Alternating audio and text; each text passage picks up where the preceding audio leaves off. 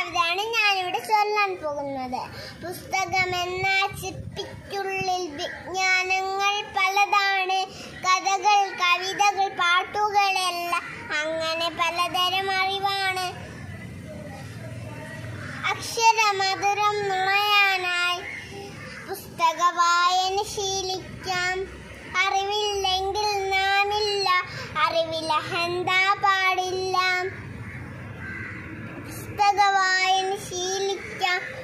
പുസ്തകമെല്ലാം വായിക്കാം.